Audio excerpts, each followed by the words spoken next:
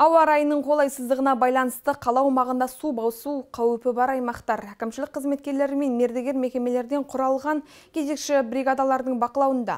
Қаратау ауданы бойынша құрылған топ Тұран шағын ауданы жаңа құрылыс көшесі бойында жауын шашын салдарынан тұрғын үйді су алып кету қауіпін алдын алу мақсатында құмдалған 3000 дана қап төселді.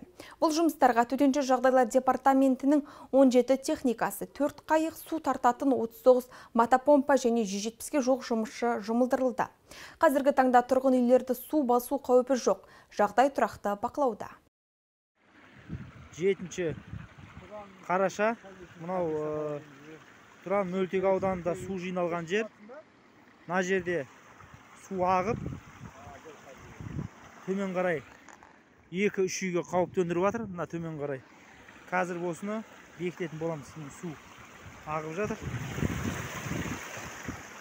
Су общий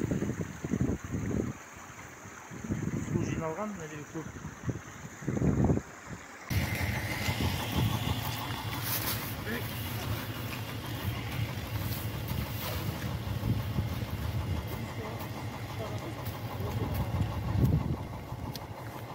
фонарик жағылама мына жақ жағылды ғой фонарик оперативно жіберіп жіберейік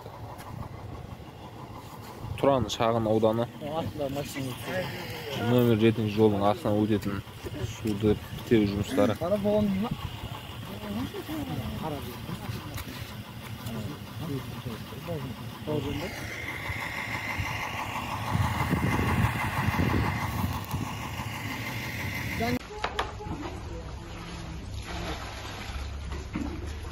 石渡タイマーの空襲です。